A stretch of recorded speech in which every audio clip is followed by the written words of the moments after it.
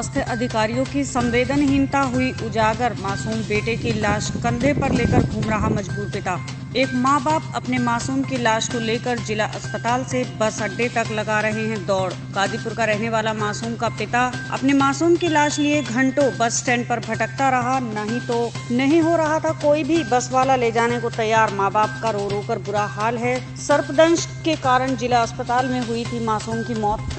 गरीब को ले गरीब को लाश देकर जिला अस्पताल से निकाल दिया गया। सरकारी एंबुलेंस पाने के लिए चलता है लंबा खेल। माँ पिता के आँसू पर भी नहीं पसीजा बेदर्द प्र, स्वास्थ्य प्रशासन। रहने वाले। हाँ। वाले इसके बाद हमारे कादीपुर हाँ। कादीपुर भर्ती किए। हाँ। वहाँ दवा वो मतलब सुई सुई लगाए। हाँ। उसके बाद फिर एंबुलेंस द्वारा हम सुल्तानपुर लेकर गए।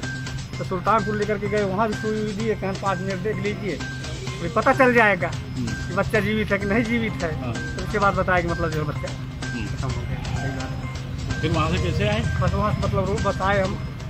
सौ नंबर मतलब तो है। सौ नंबर नहीं एक सौ आठ नंबर। हाँ। उन्होंने कहा अट्ठाईस रुपये लगेगा। हाँ। हमने कहा भाई कम करो। हाँ। तो फिर कहा नहीं इससे नहीं कम होगा। तो उसके बाद हम आए रोडवेज़ तो रोडवेज़ आए तो एक आदमी जो है मतलब वही पत्थर थे। उन्होंने कहा मैं फ़ोन कर रहा हूँ कि नहीं तो सौ नंबर ले जाएगी। तब उन्होंने ये साहब से हाँ। पुलिस करके मतलब रोडवेज़ बैठा के चलिए